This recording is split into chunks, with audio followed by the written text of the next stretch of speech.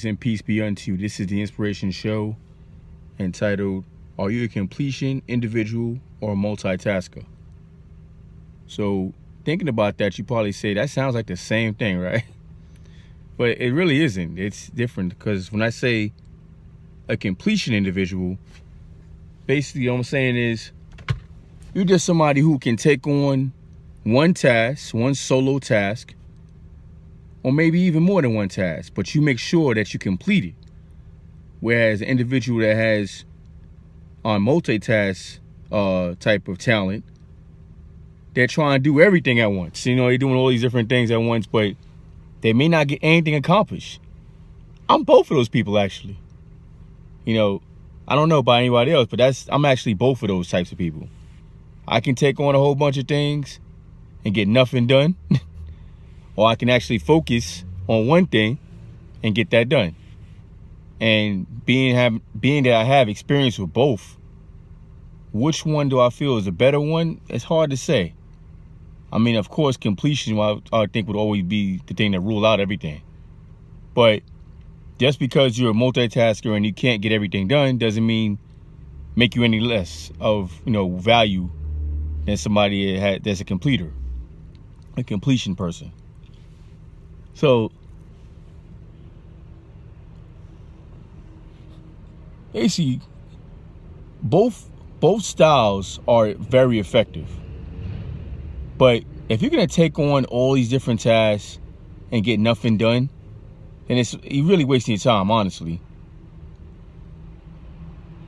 But someone who just takes their it's like you may not always have the luxury to just say, I'm only going to focus on one thing and one thing only, and that's that's it. Because think about if you're working somewhere, and let's say, for instance, corporate world, you already know the boss is going to come. He's going to drop one big task on your desk. You're going to start working at that. You're going to get, you know, put all the, the, uh, I don't want to say that. I to say, nah, I'm not to say that. You put all your attention on that thing. And then just as you're about to get through that, here he comes with another pile of stuff. So then now you wind up doing more work. And then what happens by the time the end of the day rolls up, you ain't got nothing done.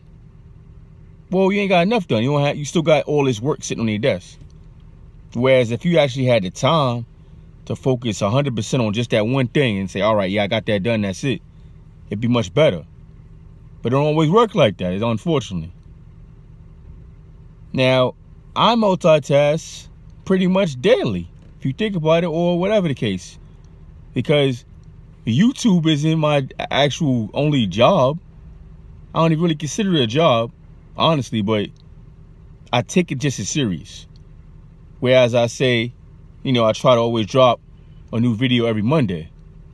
And from the looks of things right now, I may or may not make Monday because right now it's already 11 something at night. I don't think I'm to be able to get this video uploaded before 12 midnight. But if I don't, at least I can say I making I completed my task. So still, I still win, right? Basically. And for most of all, you win because you still get the video. But all in all, what I'm trying to say is there really is no bad situation in both.